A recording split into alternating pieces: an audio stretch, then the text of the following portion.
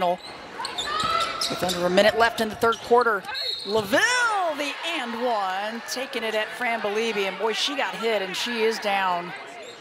Mm. Loville was leaning in and Belibi right in front of her.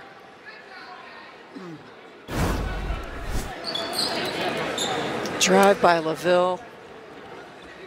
Oh, and got caught on the right side. at the end, yeah. Side of the head. And that is unfortunate. Athletic training staff out. And Fran is tough. Yeah. Yep, but knocked the goggles off. Loville tough as well going in. Before the timeout, the collision inside Mary and the officials coming over, what'd you find out? So they're going to have a personal foul against Stanford and then an intentional foul by Jade Loville. Mm. So we're going to have some free throws. Yeah.